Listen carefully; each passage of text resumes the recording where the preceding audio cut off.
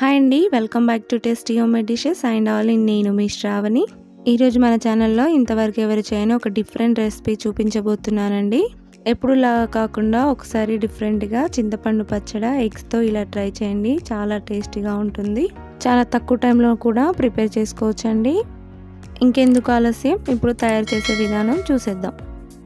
ముందుగా స్టవ్ మీద ఒక కడాయి పెట్టుకొని అందులో రెండు టేబుల్ స్పూన్ల ఆయిల్ వేసుకోవాలి.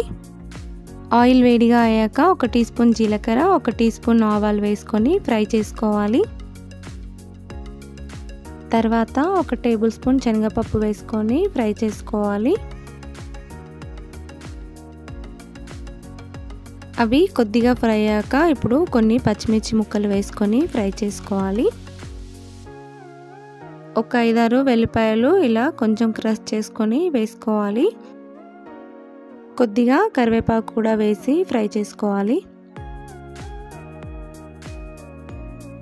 ఒక టీ స్పూన్ మిరపకాయ గింజలు వేసుకోండి ఉంటే వేసుకోండి లేదా స్కిప్ చేయొచ్చు. తర్వాత నాలుగైదు ఎండుమిర్చి కూడా వేసుకొని ఫ్రై చేసుకోవాలి.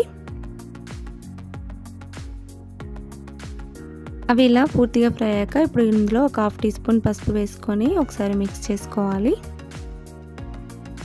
ఇప్పుడు ఇందులో చింతకాయ పచ్చడి వేసుకోవాలండి. ఇది నిల్వ పచ్చడి. నేను ఇక్కడ హాఫ్ కేజీ రైస్కి త్రీ టీ స్పూన్స్ చింతపండు పచ్చడి వేసుకుంటున్నాను. ఇప్పుడు వీటిని పోపులో మిక్స్ అయ్యేలాగా బాగా కలుపుకుంటూ ఫ్రై చేసుకోవాలి.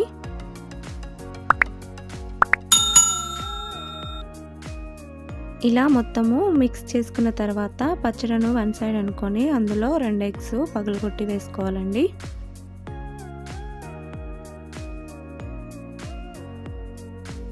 ఇప్పుడు దానిని ఒక థర్టీ సెకండ్స్ వరకు అలాగే వేడి చేసుకోవాలండి. థర్టీ సెకండ్స్ తర్వాత గంటతో ఇలా పెద్ద పెద్దగా ముక్కలుగా కట్ చేసుకోవాలి. వీడియోలో చూపించే విధంగా ఇలా పెద్ద పెద్ద ముక్కలుగా కట్ చేసుకొని పచ్చడను ఆమ్లెట్ను మొత్తము మిక్స్ అయ్యేలాగా కలుపుకోవాలి. ఇలా మొత్తం మిక్స్ చేసుకున్న తర్వాత ఇప్పుడు ఇందులో నేను అన్నం వేసుకుంటున్నానండి. మీరు ఇక్కడ ఫ్రెష్ అన్నమైనా తీసుకోవచ్చు లేదా నైట్ మిగిలిపోయిన అన్నమైనా తీసుకొని వేసుకోవచ్చు. ఇప్పుడు ఈ రెండింటిని బాగా మిక్స్ అయ్యేలాగా కలుపుకోవాలి. ఇప్పుడు మీ టేస్ట్కి తగినంత ఉప్పు వేసుకోండి. నేను ఇక్కడ ఒక టీ స్పూన్ వేసుకుంటున్నాను.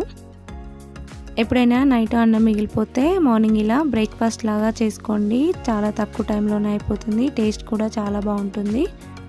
ఒక్కసారి ఇలా డిఫరెంట్గా ట్రై చేయండి. మీరు మళ్ళీ మళ్ళీ ఇలాగే వేసుకొని తింటారు. ఇలా మొత్తము కలుపుకున్న తర్వాత అన్నం వేడిగా అయ్యేంత వరకు అలాగే ఫ్రై చేసుకోండి. పైనుండి కొద్దిగా కొత్తిమీర వేసుకొని స్టవ్ ఆఫ్ చేసుకోండి. చూసారు కదండి చింతపండు పచ్చడి ఎగ్స్తో ఒక డిఫరెంట్ ఫ్లేవర్ రైస్ని మీరు కూడా తప్పకుండా ట్రై చేయండి. ట్రై చేసి ఎలా వచ్చిందో కామెంట్ బాక్స్లో చెప్పడం మాత్రం మర్చిపోకండి. ఈ రెసిపీ మీకు నచ్చినట్టయితే లైక్ చేయండి షేర్ చేయండి. ఇంతవరకు ఎవరైనా నా ఛానల్ని సబ్స్క్రైబ్ చేసుకోకపోతే సబ్స్క్రైబ్ చేసుకొని పక్కనే ఉన్న బెల్ ఐకాన్ని యాక్టివేట్ చేసుకోవడం మాత్రం మర్చిపోకండి. Thank you for watching.